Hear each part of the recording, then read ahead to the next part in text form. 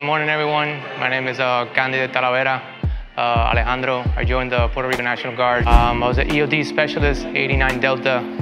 Um, once I became a sergeant, uh, did my leadership role over there, uh, decided to now take the opportunity to become a warrant officer. I became instructed uh, with the cadres on, on the process. It was a lengthy process to enter at first.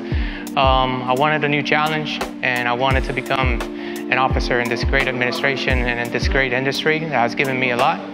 So I took the challenge and we started uh, last month in June with our first IDT. Um, it hasn't been easy. It's been really stressful days, um, a lot of time management, um, really hard. You got to pay attention to a lot of details. So far, it's been great. It's been an awesome experience, a lot of teamwork.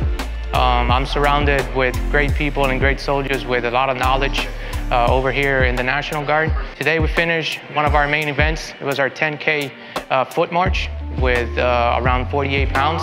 So we did that this morning. We already finished also our APFT. Um, we're conducting some land nav as of right now. Um, and we're doing all these IDTs just to get prep because we have 15 day training in Indiana, hopefully in September.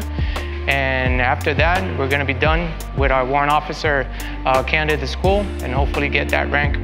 Um, I highly encourage that all of you guys that have the motivation, have the determination, and have the qualifications to become a warrant officer, take the step, you're not gonna regret it. I'm Candidate Talavera Alejandro, and I'm proud to be a part of the Puerto Rico Army National Guard.